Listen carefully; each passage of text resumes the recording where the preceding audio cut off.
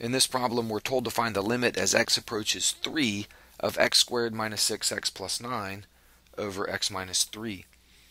And this evaluates to uh, 0 over 0. If x approaches 3, clearly this is 0. And up top we have 9 minus 18 plus 9, which is also 0. So we try to simplify this, and this simplifies pretty nicely.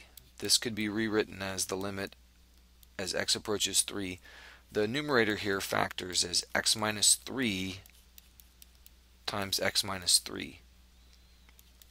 And that's over x minus 3. So this denominator will cancel out with one of those factors from the numerator. So this limit will be equivalent to the limit as x approaches 3 of x minus 3. And clearly, if x right here gets really close to a value of 3, this gets really close to a value of 0. So we can state that as our answer. That's the limit. And then we just take note of the fact that our original expression here simplified to this. So the graph of this function, if we were to say this was a function, f of x equals this, x squared minus 6x plus 9 over x minus 3, the graph of f of x would look just like this. It would look just like a graph of x minus 3, except there would be a hole in the graph at x equals 3.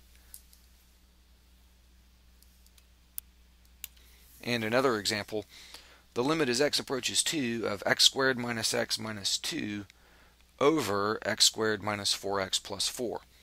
Well, if x gets close to 2, let's think about the numerator here. This is going to be 4 minus 2 minus 2, that will be 0 over, and the denominator is going to be 4 minus 8 plus 4, which will be 0.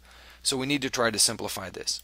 So let's rewrite this original expression here as the limit as x approaches 2, and let's see if we can simplify this x squared minus x minus 2, the numerator there, that factors as x minus 2 times x plus 1.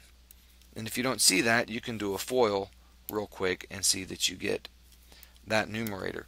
And then the denominator, x squared minus 4x plus 4, factors as x minus 2 times x minus 2 and this factor cancels out. So we so you might be tempted to think, okay, that's great, that's perfect, we're just about done. But that leaves us with this. The limit as x approaches 2 of x plus 1 over x minus 2. And you see we still have a problem. As x gets close to 2, that denominator gets really close to 0. In fact, if we go ahead and plug in a value of 2 there, this is going to give us 2 plus 1, which is 3, over 0.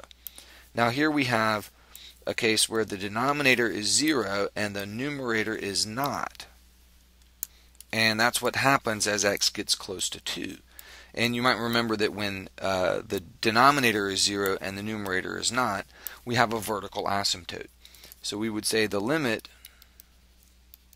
as x approaches 2 of this function, I'll just write f of x instead of rewriting all of that, the limit of that function does not exist. And instead, there's a vertical asymptote at x equals 2.